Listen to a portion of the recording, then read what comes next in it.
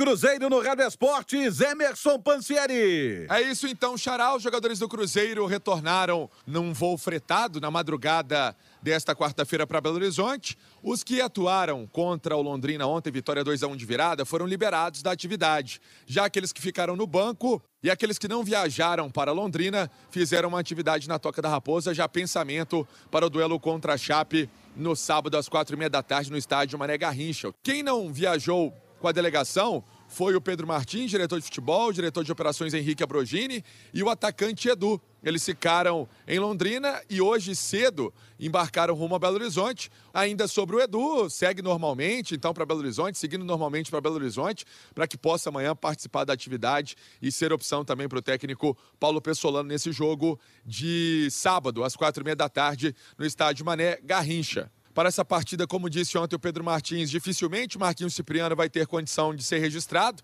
É uma situação que está sendo resolvida entre CBF e FIFA, porque não teve a transferência da Federação Ucraniana para que o Cruzeiro registrasse o atleta.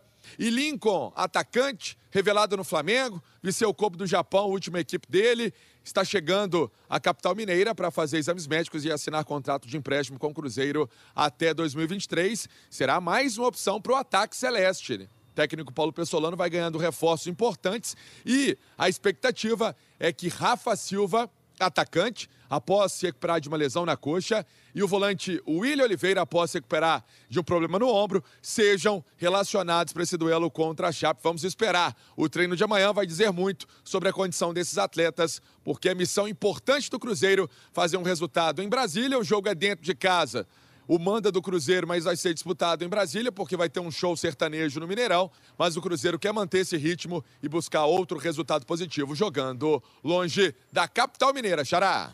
Valeu, Xará. Um